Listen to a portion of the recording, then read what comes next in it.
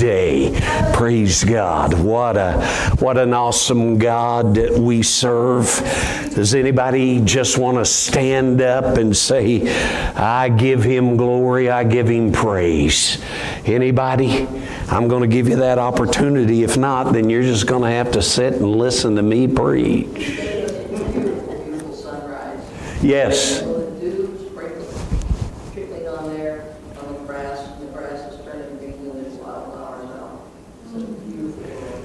It is beautiful. And ah, He is our Elohim, isn't He? That's that Hebrew word, our Creator. Our Creator. Praise God, or has reference to all of that. Anybody else? Okay, praise God. Let's turn in our Bibles again this morning as we continue on in our series. And we're getting very close to where we will begin to talk about the armor, which we will today, but not in a particular sense as far as the individual components of. And so I'm still trying to decide uh, whether to deal with each one of them, as I said, with one, one message or kind of maybe put a couple or three together. I'm not sure. Uh, it's uh, there's just so much there. But let's turn in our Bibles to Ephesians chapter six, and we're going to begin our reading again at verse 10, and we're going to read down to and through verse 13 today. As we normally have done, we have read verse 14 last week, I believe. But I trust that as we repeat the reading of these, that you will begin to get even a tighter grip upon uh, the points that we have made and how that Paul is bringing them out. So, God bless you for standing in honor of the word of the Lord here today. So, uh, it turn uh, into the word of the Lord here today. Ephesians 6 and beginning at verse 10.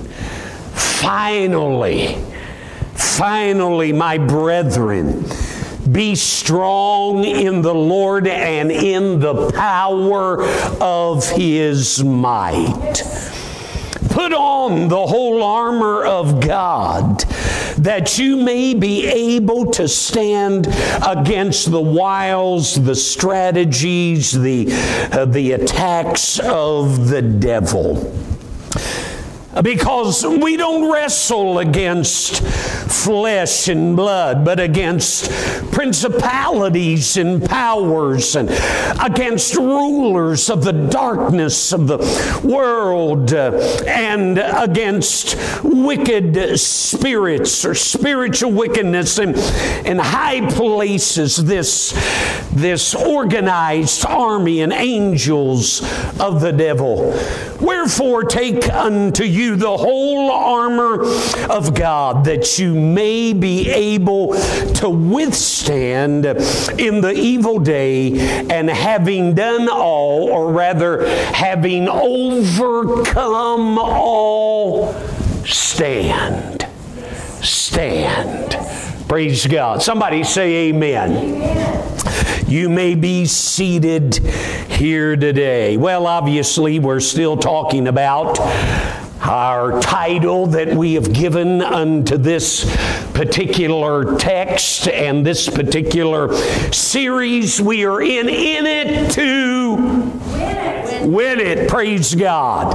We're in it to win it. No other reason. And, and God knows that He wants us to win it. And so we've been uh, talking about this spiritual warfare that we all are involved in. And so up until this juncture, I'll, I'll give it to you right now and then we'll talk about a little further. But, but we've talked about uh, the adversary, the the devil. We've talked about last week our assignment. And now today we're going to move on and we're going to talk about our armor. Our armor.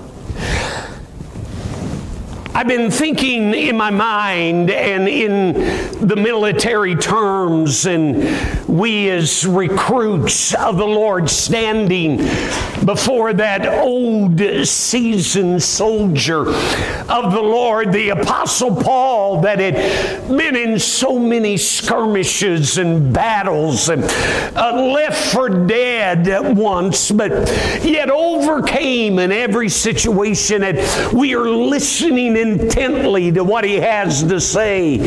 And he has been giving us some wonderful information as well as intelligence concerning our adversary, the devil, and when he attacks, where he attacks, how he attacks, etc., etc. He's given to us that particular assignment and, and mission that the Lord has given to every one of us as a child of God. And although the particular destiny for all of us is different, yet the and, and the spiritual military maneuvers are many, yet really you can describe our destiny and our mission and our purpose of what God wants us to do and fulfill in this military spiritual mission, it can be summed up in one word, and that is simply stand. Stand. He wants us to oppose the enemy. He wants us to not give up what God has already given. He wants us to stand our ground and not compromise one iota of the Word of God and of the things of the Lord. Uh, he wants us to go on the offense as we stand against Him and uh, attack the enemy and uh, his weapons and his strongholds even before we are attacked from Him. And He wants us to overcome, and having overcome all, be able to understand to be able to stand and to be able to be there. So I'm thankful, though, that when God sends us out on our assignment and when He sends us out on this mission, that He does not send us empty handed. He does not send us unprepared, unprotected, or unarmed. He has given us the, the necessary armament as well as the necessary artillery that's in that armament that when the smoke is cleared and when the dust has settled and when all of the horrific and horrendous sounds of war have been silenced, that it is you and I that have are left standing. And there we stand, having overcome everything, every attack in every way imaginable that the devil has brought against us. So the Lord is saying, Yes, I want to inform you about your enemy. I want you to understand clearly your assignment. But now I want you to know that I have given you everything that you need to ensure that you are more than a conqueror for and with your Lord Jesus Christ. Now, the day as we take a look and we, we introduce this armor, like I said, instead of looking at the individual pieces of the armor, I want to go back and I, I, want us to focus on seven words as it's found there in verse 11. It may be seven simple words, but I want us to dissect this little portion of Scripture and I want us to hang on every word. I want us to see it and to know it, and uh, then it's going to speak volumes to us. And what I'm talking about, here's what I want to mention today. Verse 11, that first phrase, put on the whole armor of God. Put on the whole armor of God.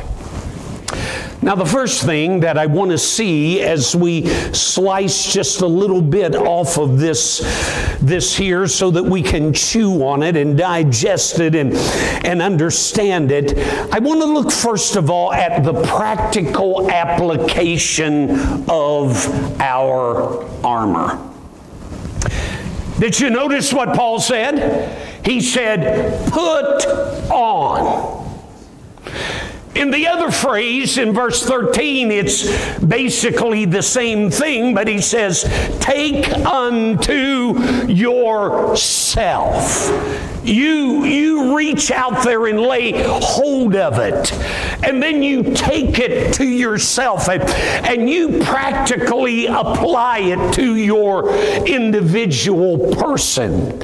So here's what I what I what I want us to see is that that I've said this before, but but anytime in the English language or in speaking or or in reading or in, in the Word of God, that when the subject of a sentence is not supplied, it is inferred. When, when the, the noun is not given and it is not there. Notice he simply says, put on the whole armor of God but it is inferred that it is you. You put on the whole armor of God. And so Paul is speaking to those uh, in Ephesus of that day, but the Word of God, he's speaking to all of us here this morning. And he's saying, You, Rich Goldites, and you personally apply, you personally lay hold of it, and you personally put it on. So here's, here's the real two points that I want us to notice in this. The personal application of this armor is number one, God is going to make the armor available to us, but He is not going to put it on for us. Are you hearing what I'm saying? It's not like salvation. That when we get saved by God's grace and, and He imputes His righteousness into us and declares us uh, justified just as if we had never ever sinned, you see, that is a total work of God. There is nothing that we can do, there is nothing that we can improve. It is all God's grace and God's love and God's mercy. It's all what God does for us. But here in this text, he says, hey, there is a part that you must play. So I'm going to give the armor to you, but then you must personally put it on. The second thing is, is by virtue of the way that Paul puts that, he's saying, you know what? You don't have to put it on. We have a choice. And not only can we choose to not put it on as a Christian, uh, I cannot imagine why anybody would want to do that. And let me say that your efforts are going to be totally futile and you'll never be able to overcome and you'll never be able to stand. Uh, but not only that, even if you do put it on, you don't have to keep it on. So here the idea is that Paul is, is telling us, this soldier, uh, senior soldier of the Lord, that yeah, God has given it to you, but make sure that you put it on and that you keep it on. Church, I've said it before, but a lot of Christians, they wonder why they're not as victorious, they're not as joyful, they're not as, as glorious, they don't see the blessings uh, as much as they want or they feel that God has given to them. They're living under beneath their benefits and their true privileges as a child of God, and they wonder why. And a lot of it is, is that, that we do not understand this simple precept that God makes so many things things available to us, but we're the one that has to latch on to them. We're the one that by a personal act we have to do. And if we don't do it, if we just sit around and say, Lord, here I am, I'm waiting on you to do it, I'm waiting on you to do it, uh, God's not going to do it. It's a personal application of this. If you're like me, sometimes it's hard to find that balance in serving God as to what is God's responsibility and what is my responsibility. What, what does God want me to do, or when does He want me to stand back and do nothing? And it's not always easy to ascertain that in a given situation or even in a given battle. Because you remember the children of Israel, when they uh, were crossing the Red Sea, they were between a rock and a hard place and Pharaoh's army was behind them, and the Red Sea was in front of them, and, and they were walled in by these cliffs on, on both sides. But do you remember what the Lord told Moses in Exodus there in Exodus 14 and verse 13? I think you understand and you remember what he says. He says, Stand, but stand still. Stand still and see the salvation of the Lord. And the word salvation there, are a lot of times in, in the Word of God, it doesn't mean saving our souls, but it means deliverance. Stand still and see the deliverance of the Lord. In that when you, you're in this battle, you're in this struggle, and there's nothing that you can do, but the Lord didn't tell them to fire one shot. They simply were to stand stand and observe. God said, I want you to stand. I want you to watch. I want you to learn your lessons. I don't want you to miss it. I want you to see the power of the Lord and the abilities of God. And I don't want you to do anything. I simply want you to stand and observe and see. Hallelujah. Aren't you glad for those times? When the Lord says there's no part for you in this situation. Then we remember when they crossed over the Jordan River into the promised land and they were going to have to take the, uh, the promised land that God had given to them and, and this place. And, and you remember there in Joshua that the first place was Jericho. And the walls around Jericho are, are memorable. They were wide and they were tall and virtually impregnable, uh, especially for the children of Israel, because at this time they had no military weapons. They had just come out of Egypt, but they came out with other stuff, but they did not have any military weapons. And yet, what did the Lord tell them to do? He said, I'm going to give it it to you. And you see there in Joshua in 6 and 6, he talks and tells the priests that he wants them to blow their trumpets as they go around, uh, you know, for seven days, walk around the wall. And then uh, I didn't give this to you, but in verse 20, it's where it actually says that when they went on the seventh day, the seventh time around, the priests blew the trumpets and the people shouted and what happened? The wall fell down from the very, you know, top to the bottom.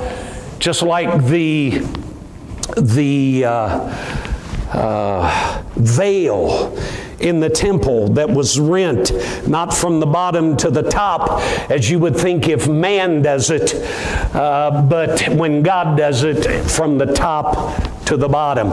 And it was as if there was they detonated like they do today, where they want to bring old buildings down that they strategically place the dynamite or whatever it is that they use and they, they put it on the bottom so that, and, and all kind of up. And so when it starts, it continues and it falls basically, you know, it, it comes from the bottom and it falls straight down, but it, the top is what falls straight, straight down instead of falling over. It's God. You remember when David, and I gotta, gotta be careful here in these stories, they're so wonderful, but I want you to remember them, and I know that you already do. But you remember that when David went out against Goliath, that there in 1 Samuel in 17, in verse verse 25, first of all, he said, Goliath, you know, you come to me with a sword and a spear and a shield, but I come to you, how? In the name of the Lord. And then a few verses later, he says, Hey, Goliath, I want you to know that the battle is the Lord's. Hallelujah. It isn't mine, uh, but uh, it's the Lord's. So I, I want us to see that there are times that God says, You just stand still. But still, in the midst of all of that, we are in a battle. And even though the battle is the Lord's, and even though that, that uh, God tells us to stand still, He still tells us, Put on the whole armor of God. That's what you have to do. Put on the whole armor of God. I'm, I'm reminded as well, and I didn't give Ken this scripture either, but as uh, we have looked out in, in our study in Revelation, you remember when Jesus is coming back at the end of the tribulation and to fight that last battle, the battle of Armageddon? The Bible said he's on his steed, his horse, and the armies of the Lord follow after him on their horses. But I want you to notice the contrast there, if you would. And, and when you turn over there, if you remember, it says, We are clothed with white raiments. We don't have the armor on, it doesn't tell us. You know why? Because we're not going to be doing any fighting. We're just along for the ride. Hallelujah. The Bible says the Lord will tread the winepress alone. That's one of the, the prophecies, and that He's going to be the one that does the fighting. But the point of the matter is, is that regardless what, whether the Lord does it completely for us or whether we're like David, even though the battle is the Lord's, David was the one that picked up those stones out of the brook in his sling, and he was the one that ran into the battle. So we see that there is something for us to do. There's that old song that says, Must Jesus bear the cross alone and all the world go free? The writer said, No, there's a cross for everyone, and there's a cross for me. Well, you could change that just a little bit as it relates to our topic. Must Jesus fight the battle alone and all the church go free? No, there's a battle for everyone, and there's a battle personally for me. And because of that, we've got to uh, apply the armor of the Lord. Let's go on. In this little phrase where Paul says, put on, what's that next word? Did he say, put on the armor of the Lord? But in both cases, he says, put on the, the whole armor of the Lord. Ah, that's important. If we're going to put it on, we've got to put on the whole armor of God. And he mentions that two times within a short span of time so that, that we will get it put on and then taken yourself.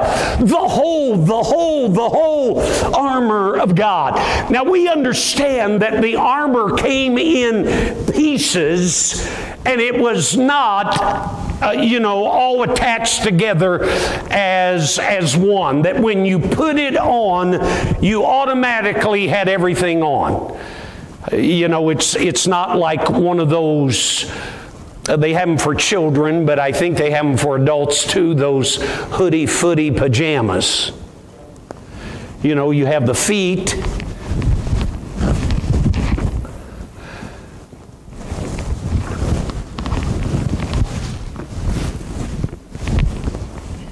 You're covered. That's not how the armor was. That you put on one piece and you're done. No, there's several components to it.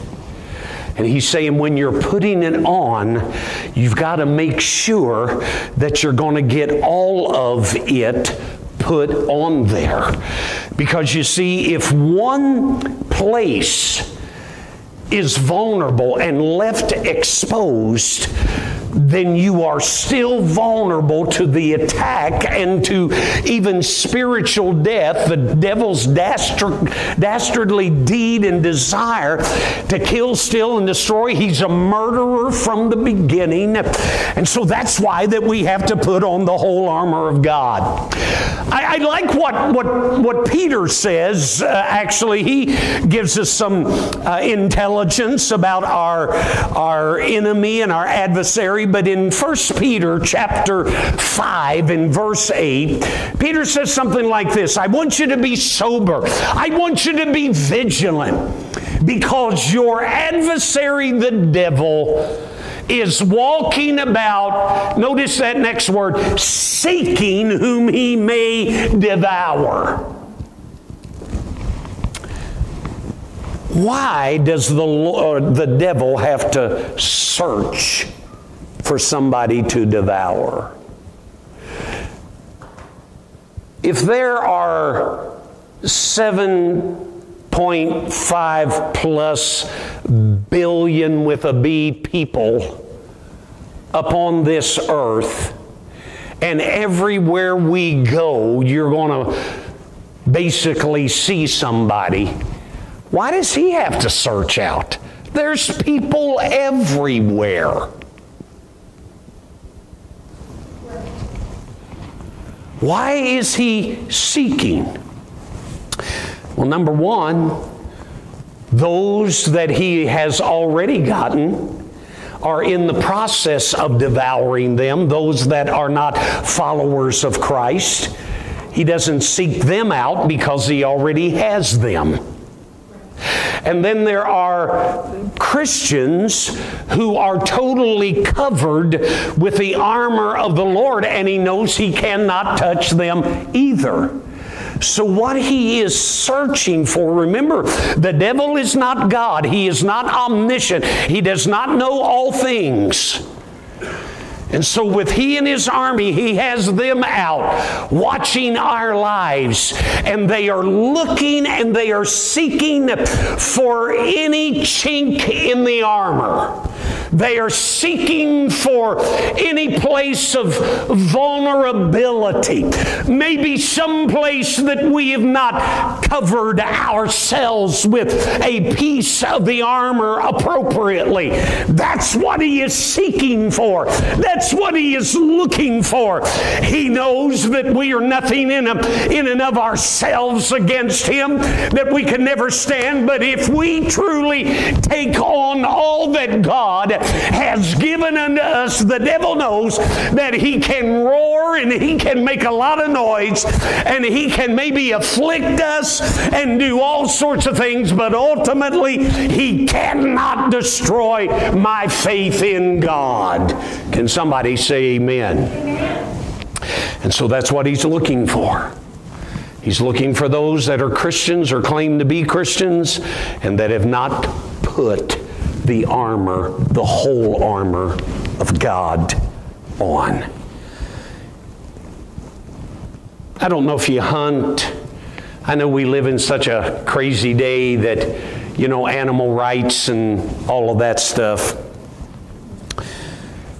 But God said that He had placed those there and several places in the Word of God for the benefit of mankind. But if you hunt with a bow, and I started to say somebody's name, but maybe I better not.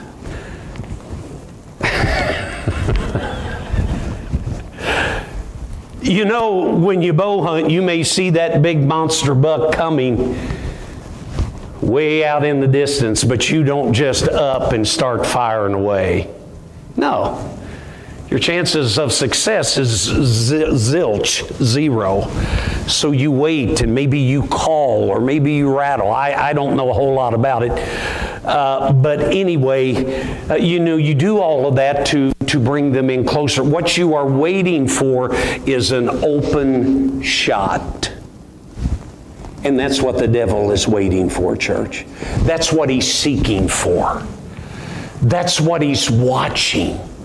He's waiting. He stalks us.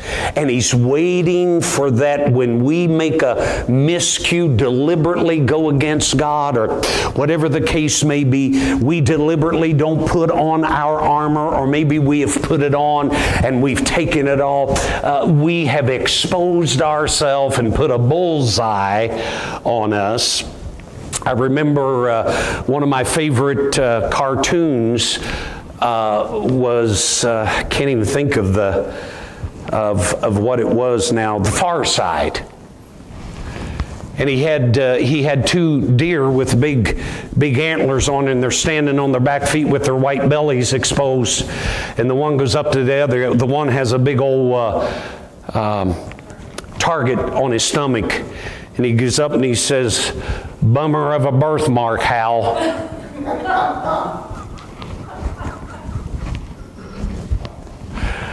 So that's what the devil's waiting for. He's waiting for us to expose ourselves, as it were, and where the shot is so much easier for him, so much, so much easy for him. So put on the whole armor of God. You know, if you if you go into military battle now, where grenades and rocket launchers and uh, personal, all of that. Uh, you know, it may blow an individual to pieces. But somebody said, you don't have to blow an individual to smithereens to destroy them. The way God made us is He didn't make us with a bunch of pockets of blood to supply blood just to that one area of our body but our heart pumps our blood throughout the extremities of. So if you wound somebody in the shoulder, and that continues to bleed, it doesn't mean that you've shot them in the head or you've shot them in the foot or you shoot them in the hand. It simply means that you've got them at one place and they will bleed out. Are my illustrations too gory here? Maybe they are. But I'm trying to make a point here, church is that all the devil needs is one open shot. One chink in the armor. Remember when Ahab was killed? I mean, there was a, a soldier on a, on a chariot. He just took his bow and he just and shot. And the Bible said that it went in between Ahab's armor where the two pieces connected and it says by by chance basically. He didn't mean to do it but the point of the matter is is that that's, that's all they need is that little space open spot. That's what the enemy is looking for. I got to hurry here and i'm going to finish up put on, that's the practical application, the whole armor, that's the proven amount where we're going to be successful and the devil is not. And then the last thing is the powerful author of this armor. Put on the whole armor of Rich Goldeisen. Nope put on the whole armor. If I could go through every one and mention your name as well. And there's sometimes that we think that we can do it in and of ourselves. You know, I, I, can, I can straighten my life out. I can get all of this together. I, I, I can do all of this without the help of the Lord, and we cannot. And that's why he says that the powerful author is, is it is the Lord. And the reason that we need this armor that comes from and that is provided for and supplied for by the Lord and not from any other human being is because Paul tells us in our text. Because we're not fighting against flesh and blood but against these demonic spirits and the devil. It's a spiritual battle. Now, if we were fighting a natural battle, then I assume that the M1 Abram tank would be pretty nice to have. If you're fighting a natural battle, that the M4 or the M4A1 carbine may be nice to have. If you're fighting a natural battle and army such as ours, and especially so close here, which we are honored by and thankful for, but uh, you know, you may want one of the stealth bomber aircrafts. You may want the B 2 Spirit. You may want the F 35. You may want the 117 Nighthawk. You, you may want all of these. But we're not fighting against flesh and blood. We're in a spiritual battle. And if we're in a spiritual battle, we need to take on the spiritual warfare that God has provided for us. I'm closing with this. The Apostle Paul he talks much in Second Corinthians chapter 10, and, and he says there in verse 3, he said, We walk in the flesh. Yeah, we're, we're, you know, you touch me, I'm flesh. I walk in the flesh. But he said, We do not war or we do not fight after the flesh. In other words, even though we're in this fleshly body, we do not fight our spiritual battles with fleshly artillery. Can you say amen? And he goes on to say in the next verse, he said, For, for our weapons are not carnal, they're not fleshy, they're not uh, physical but they are mighty through God to the pulling down the utter destruction of strongholds. Hallelujah. So we are in it to win it. And, church, I want to encourage every one of us here today that is, we will begin to next week, the Lord willing, to begin to talk about the various individual components of this and how that we need to put all of them on so that we are fully protected. Thank God that we can be in it, but in it to win it. Put on the whole armor of God. What a statement. The practical application, the proven amount, and the powerful author, giver, commander, captain of our faith the Lord Jesus Christ. Father, I thank you again for another day. I thank you again for another time to be able to spend in the Word of the Lord. And God, I want to win. I want to be in it to win it. I don't want to be in it and just struggle and flail. And crawl and try to make it through another day. Lord, we acknowledge the battle is fierce hot and heavy, and we are on the front line. But Lord, even in spite of all of that, we are in it to win it, to be victorious. So thank you, Lord, that as your men of God were tender to the Holy Spirit in writing the word of the Lord and what you wanted us to know many years later. But I pray that we will take their heed. But God, help us today to understand that when it comes to spiritual warfare, that out of all that you have given us to ensure, there's not one thing left undone or left unsupplied that we're wondering when you're going to give it to us so we can be fully victorious. No, Lord, it's already been given. If I'm not victorious the way that you want me to be, maybe it's because I haven't taken that last article and maybe I haven't personally applied it by faith my own life. Lord, I can't apply the armor for those here that sit before me.